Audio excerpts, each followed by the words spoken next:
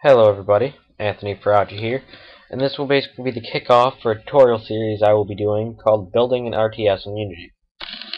Now I've wanted to do this tutorial series for a while, but just never had the time, so now that I'm homesick, I thought might as well do it.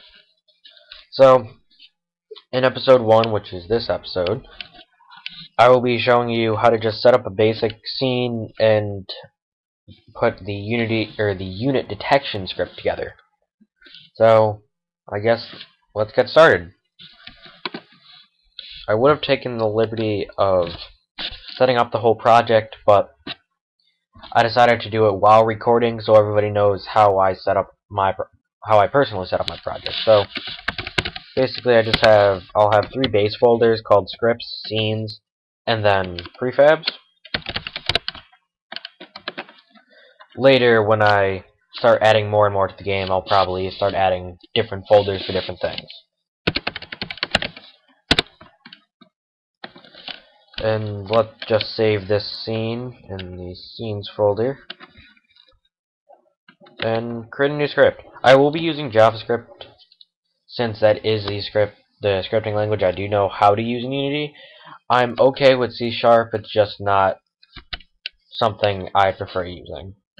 Let's create a new JavaScript and we will name this unit detection. Now, this script we're going to put on a empty game object called unit detector, which we will create now. Drag this into the camera so it does follow the camera and name it unit detector. Enter. Let's reset all of its positions so we know it's centered to the camera and drag the unit detection script to it. Mm, I guess let's start editing it.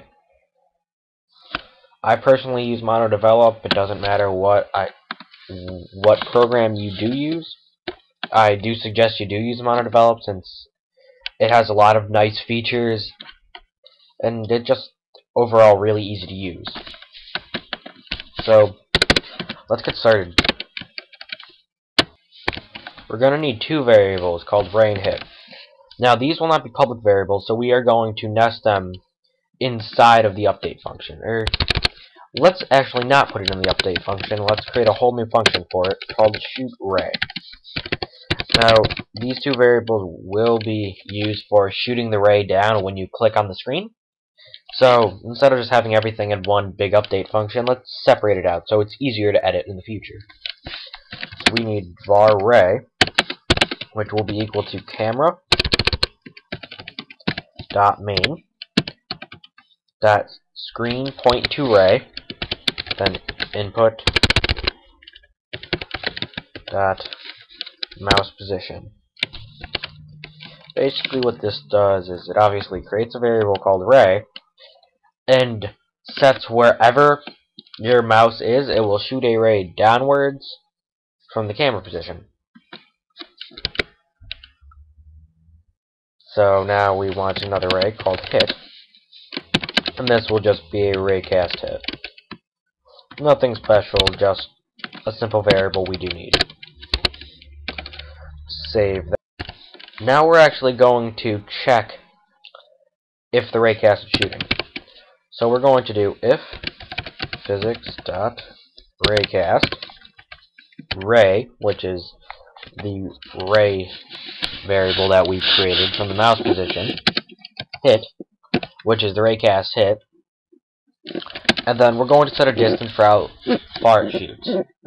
I'm going to go with 100 since we do want a far ray in case the levels do have like steep slopes and they go fairly far down. The units go just kind of into a valley or something.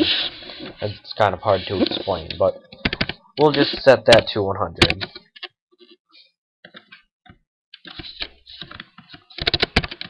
And save that off.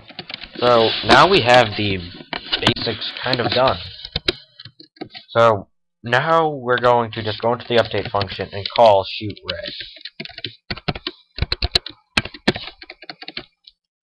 Now, every frame it's going to call that shoot ray function. Now, we don't want that, but we're just going to do that for testing. Now back to the shoot ray function.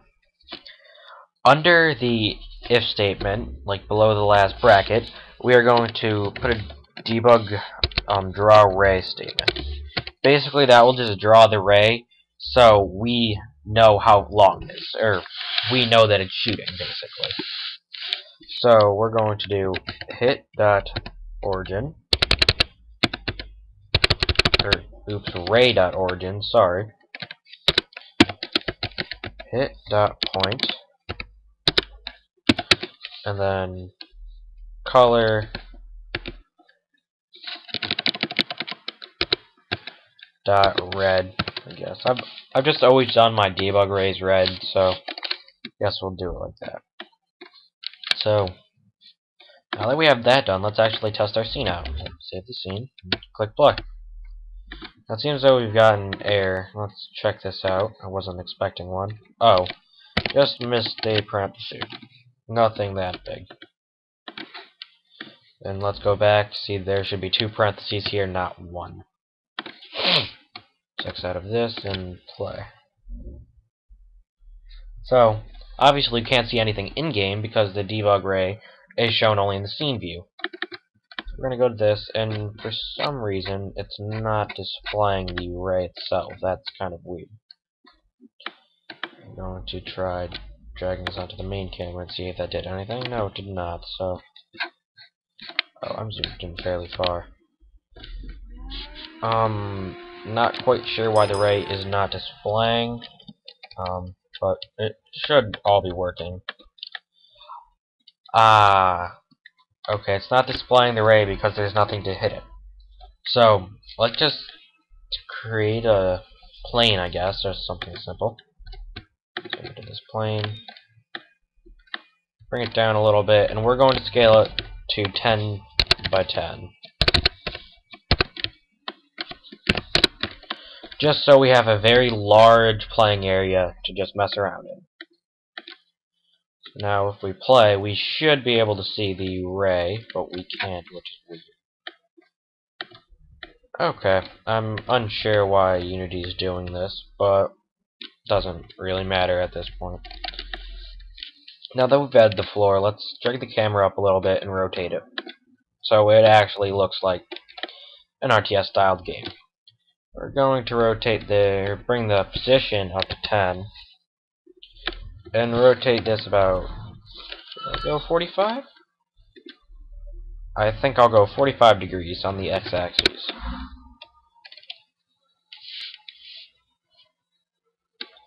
Let's save this off. And let's add a light. Um, let's go with a point light drag that up here, just enlarge it a bit. Just so we our scene isn't just one single gray color. We play this, we have our basic scene set up. Now, to check if this function is actually being called, we can remove this debug ray since it really isn't worth it. We're going to do a debug.log and then just say shooting ray.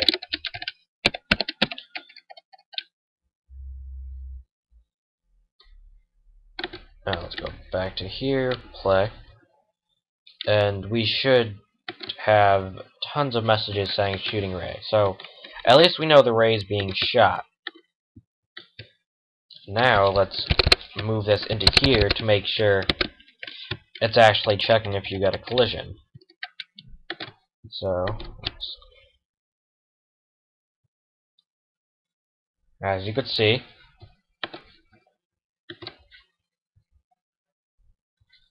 as I move my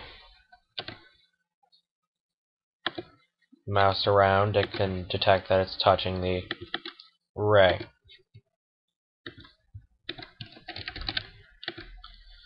But, oops. But obviously we don't want it always checking. We only want it to check when we click the mouse, when we left click or right click. So let's add that. In the update function, we're going to have an if statement, if input dot get mouse button down zero then shoot the ray. And basically that will say basically that will only check or shoot the ray if you left click down. So let's check that out. As you see when I click the shoot ray comes up.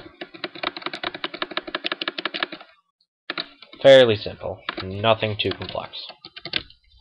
So I think I may end here for the first tutorial. Um, I will most likely be recording episode 2 once I stop recording this one, and just have a massive editing session for the rest of the day. Um, thank you for watching, and tell all of your friends, anybody who uses Unity. So, thank you for watching, and goodbye.